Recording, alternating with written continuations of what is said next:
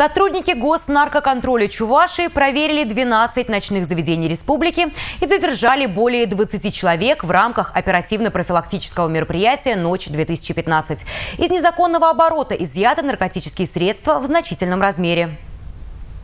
Операция показала, что на сегодняшний день ночные клубы по-прежнему остаются одной из зон риска. И цель таких мероприятий у нас по проверке мест массового досуга молодежи – это не только выявление и привлечение к ответственности лиц, которые употребляют и распространяют наркотические средства, но и устранение причин, условий, способствующих распространению наркотиков в данных заведениях. В настоящее время операция «Ночь-2015» завершена, но подобные рейды у нас продолжатся.